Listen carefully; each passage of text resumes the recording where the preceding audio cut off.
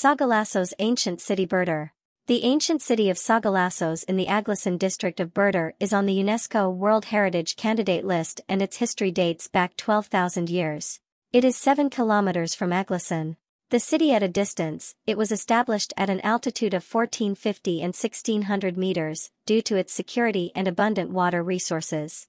Excavations in the city, which was found by the French traveler Paul Lucas in 1706, were carried out by Professor Dr.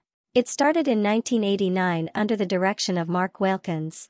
It is still going on. Visitors to Sagalassos today, in the upper agora, square, of the city, a restored monumental fountain with cascading waters, approximately 13 meters.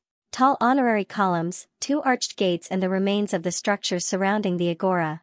The ancient city also has a huge Roman bath, a library, a small fountain whose water flows from its spring, a city mansion, a 9,000